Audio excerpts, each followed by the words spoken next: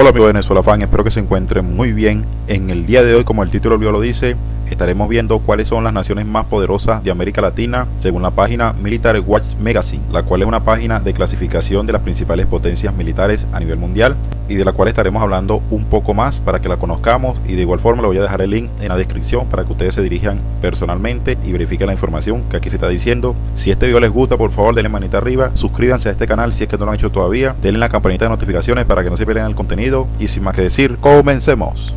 Esta página de donde yo estoy sacando esta clasificación es una página que se encarga de clasificar las potencias militares a nivel mundial.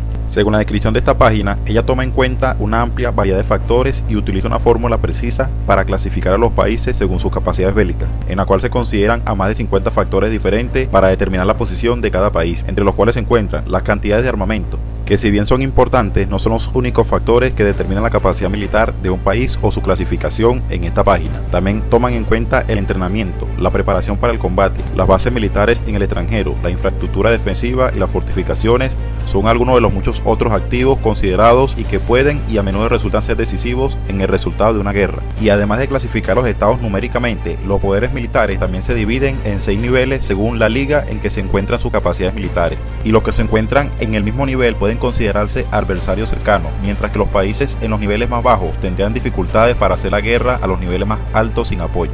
Habiendo dicho esto, ahora podemos entender un poco más por qué las posiciones de cada uno de los países y ahora sí, comencemos. Y el primer y único e indiscutible primer lugar se lo lleva Brasil, encontrándose en el nivel 5 de los poderes militares a nivel mundial, teniendo en este ranking la posición número 35. Tiene como fortaleza su mano de obra, su capacidad en el aire, en el mar y en tierra, además que es el país tecnológicamente más avanzado e industrializado de América Latina. La lista del nivel 5, donde se encuentra Brasil, la preside Singapur, posteriormente Tailandia, Birmania, Suecia y luego Brasil. Y después de Brasil le sigue Marruecos, Malasia, Etiopía, Sudáfrica y Países Bajos, que es el último país que compone esta lista de nivel 5 y que es el país número 40 a nivel mundial.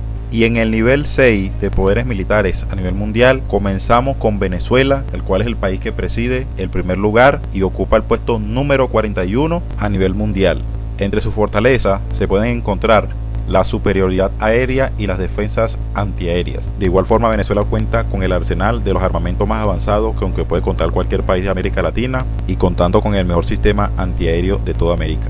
Por lo que en este ranking, a diferencia del ranking militar global que la mayoría de las personas están acostumbrados a ver, Venezuela es el país más poderoso luego de Brasil de América Latina. Posteriormente, en esta lista y en el puesto número 58 a nivel mundial se encuentra Chile, teniendo como fortalezas el aire, el mar y tierra, teniendo en el caso de la Fuerza Aérea uno de los aviones más avanzados de toda América Latina. En el mar cuenta de igual forma con unas buenas fragatas y unos buenos submarinos, siendo de los mejores que puedes encontrar en este continente. Y su fuerza terrestre cuenta con los tanques Leopard, los cuales algunos consideran el mejor tanque en América Latina. Posteriormente, en la lista, en el número 59 a nivel mundial, tenemos a Cuba, teniendo un ejército bastante pequeño, decadencia, y de verdad no estoy de acuerdo en que Cuba se encuentre en esta posición.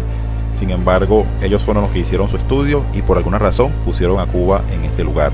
En el puesto número 60 tenemos a Argentina a nivel mundial, teniendo Argentina también una buena industria militar, sin embargo en este momento se encuentra en una crisis política y social y económica, por lo que su industria militar se ha visto bastante afectada, pero que aún cuenta con equipos, instalaciones, industrias y capacidades que le permiten estar entre los mejores del mundo. Argentina es el último país de esta lista número 6 a nivel mundial y el que la preside es Venezuela, señores. Comenten ustedes qué les parece, si están de acuerdo o si no están de acuerdo con esta lista. De igual forma yo les voy a estar dejando el link en la descripción para que ustedes vengan a verla ustedes mismos y ustedes evalúen si lo que ellos están tomando en cuenta está bien o no está bien. Y sin más que decir, nos vemos en un próximo video.